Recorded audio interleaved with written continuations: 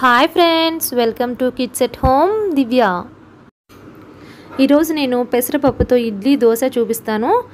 పెసరపప్పుతో కట్టి పొంగల్ చూశాను పాయసం చూశాను. ఇదేంటప్ప ఇడ్లీ దోశ అనుకుంటున్నారా? అవునండి ఒకే పిండితో ఇడ్లీ కానీ దోశ కానీ వేసుకోవచ్చు. మరి అది ఎలాగో చూపిస్తాను రండి. ఒక బౌల్ తీసుకొని దానిలో పెసరపప్పు వేసుకోవాలి. నేనైతే వన్ అండ్ హాఫ్ గ్లాస్ వరకు పెసరపప్పు వేసుకున్నానండి.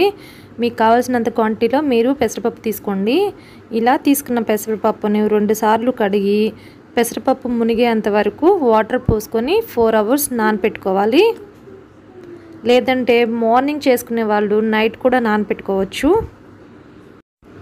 ఇలా నానబెట్టుకున్న పెసరపప్పును మిక్సీ జార్లో కావలసినంత వాటర్ పోసుకొని మిక్సీ పట్టుకోవాలి. ఇలా మిక్సీ పట్టుకున్న పిండిని ఒక బౌల్లోకి తీసుకోవాలి. ఇలా తీసుకున్న పిండిలో తురిమి పెట్టుకున్న క్యారెట్ సన్నగా తరిగిన పచ్చిమిర్చి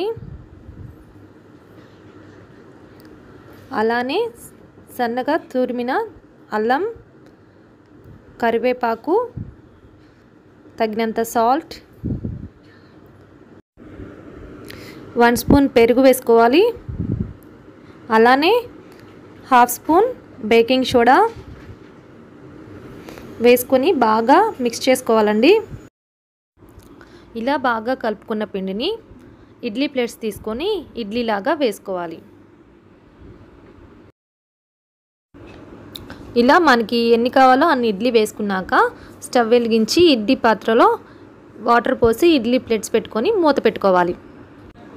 ఫిఫ్టీన్ మినిట్స్ తర్వాత చూడండి ఇడ్లీ ఉడికిపోతుంది. ఇప్పుడు స్టవ్ ఆఫ్ చేసి ఒక ప్లేట్ తీసుకొని ఇడ్లీలను ఆ ప్లేట్లోకి తీసుకోండి. అంతేనండి ఎంతో soft and healthy idli ready అయిపోయింది. దీన్ని కొబ్బరి చట్నీతో కానీ పల్లీల చట్నీతో కానీ సర్వ్ చేసుకోండి. సూపర్గా ఉంది. ఇప్పుడు ఇదే పిండితో దిబ్బ రొట్టె ఎలా వేయాలో చూపిస్తాను. అదేనండి మన అమ్మమ్మ వాళ్ళు వేసేవాళ్ళు కదా దిబ్బ రొట్టె అది ఎలా వేయాలో ఇప్పుడు చూపిస్తాను. దీనికి స్టవ్ వెలిగించి బాండి పెట్టి మూడు స్పూన్స్ ఆయిల్ వేసి రెండు గరిటెలు పిండి వేసుకొని తిప్పుకోండి. ఇది కొంచెం మందంగానే తిప్పుకోవాలండి మరీ పలుచుగా కాదు. ఎవరికైనా పలుచుగా దోశలా కావాల్సిన వాళ్ళు పెనం పెట్టుకొని అలా కూడా వేసుకోవచ్చు.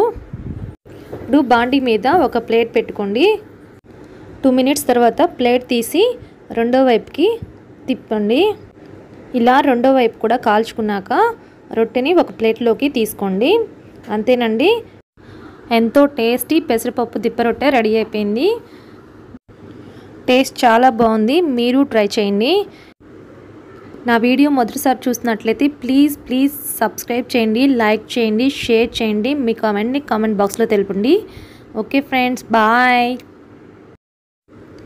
Thank you for watching